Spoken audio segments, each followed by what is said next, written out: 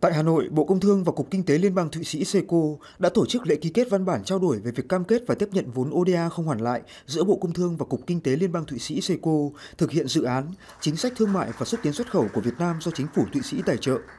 Phát biểu tại lễ ký kết, Thứ trưởng Bộ Công Thương Nguyễn Xuân Nhật Tân nhấn mạnh, dự án hỗ trợ kỹ thuật chính sách thương mại và xúc tiến xuất khẩu của Việt Nam do chính phủ Thụy Sĩ tài trợ có ý nghĩa quan trọng trong việc hỗ trợ Việt Nam trong việc triển khai thực hiện các mục tiêu và nhiệm vụ được giao tại Nghị quyết Đại hội Đảng lần thứ 13, Chiến lược phát triển kinh tế xã hội 10 năm 2021-2030.